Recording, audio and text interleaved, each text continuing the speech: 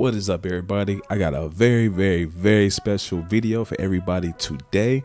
Today, we're going to be going over and unboxing a brand new custom Xbox Design Lab controller. Yes, I just finally was able to get a controller together and ordered. So today, we're going to go over that. And at the end, I'm going to unbox it, go over the whole controller with you, and just break it down. So yeah, if you're new here, go ahead and uh, hit that subscribe button. This is the David O channel. We go over everything tech from phones, earbuds, gaming, anything tech. We got it. So go ahead and subscribe and, you know, join the crew, join the fun. So again, this is the Xbox Design Lab. You may have heard of this, but it's a shop where you can go and design a custom controller. So you can add all the different colors, any color combination, um, basically design your own brand new controller uh, which is pretty dope. It's been around since the Xbox One days. I've been wanting for a long, long time, but never actually, you know, put in an order. Um, but now that the Series X is, you know, out, I decided I'm finally, you know, I'm, I'm, gonna pull the trigger. I'm gonna go ahead and get one of these. So, um, they brought it back. It actually went away when the Series X launched. They took away the Xbox Design Lab and they brought it back about six months ago. But they recently just added some new options. So that's what made me finally pull the trigger. Um, and as you can see here, they added a couple new options in this video. So they added the rubber grips on the back, they added these chrome triggers, they added a chrome D pad as well. So they added um, a couple new options. So yeah, rubber grips, chrome triggers, and D pad, which is super dope. Uh, without further ado, let's get into the actual controller that I designed myself. Let's get into that. All right, here we go. So this is the controller that I came up with. Doesn't it look just so gorgeous? I love it. Um, so you can see here I went with the real bright green. I tried to get something that just kind of similar style to the Xbox. You know, Xbox is green, black, that whole color scheme, color style. So I went with that. Um, and so here you can see I took advantage of those new options. I got the chrome D-pad here on the front, which looks super dope. Chrome triggers on the back. Um, rubber grips only got the bottom rubber grips. There's two. You can get one in the kind of the handles and in the back. I just went with the ones in the back. Uh, but if you want to add some on the side, you can do that as well. But overall, yeah, I think it looks pretty dope. I mean, this is this is pretty nice. But yeah, and also got my engraving with my gamer tag. So if you want to play some games with me, you know, go ahead and add me. You know, hit the sticks. um, but yeah, man, this this is pretty dope. I'm excited for this. So I got the order already submitted. Uh, it's ready to go. They're working on it now, and I think they just sent the shipment confirmation, which is pretty dope. It got done pretty quickly um, because these custom controllers usually take a while. They can take up to three to four weeks. Um, let me see if I can find on the site.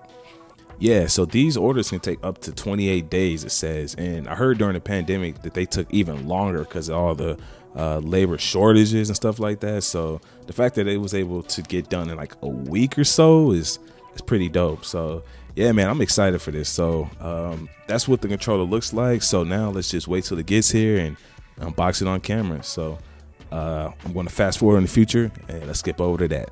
A few moments later.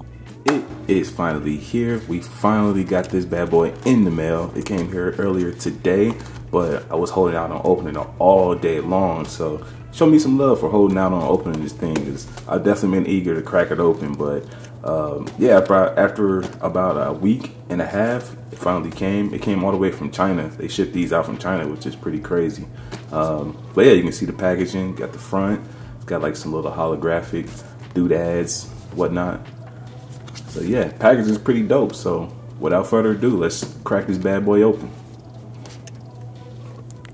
All right, now let's get to the good part. Let's open this up. So as you can see here, cover the barcode. This is the tape packaging. So I have not opened this bad boy up. It's been just sitting here. I have not peeked at it. So you're about to get a genuine reaction opening this up. So let's go ahead and do it.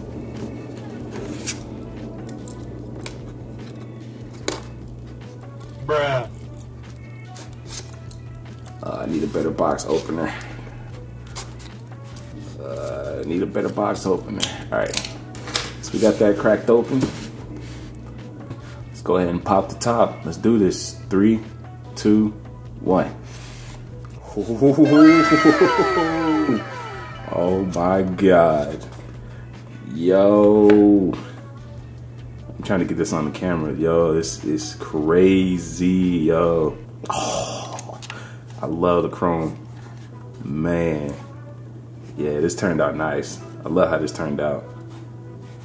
Yo, let's go. Got the grips, grips on the backs, pretty grippy. I thought they'd be softer, but they're they're much grippier than original, so that's pretty cool. Got a fresh, brand new controller. Got the chrome triggers, chrome D-pad, got the gamer tag sketched in. All right, nice. So like I said, we got the all green, got the new grips on the back, got the chrome triggers, chrome D-pad, and yeah, it feels pretty good, man. Feels good in the hand. Yep. Pretty good quality. They got green all the way through and through. So that's pretty nice. So yeah, man, this is the controller right here. Overall, I would say it's definitely worth it.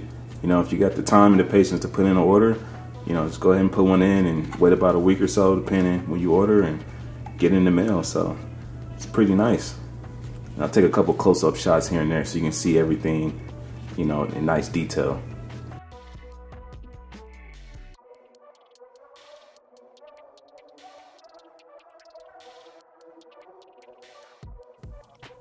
So, are you thinking about making a controller yourself? If so, what colors or theme would you go with? Also, if you're thinking about making one, you have any questions, let me know down in the comments and I'll make sure to answer them. But for now, that'll do it for this video, so I'll catch you all next time.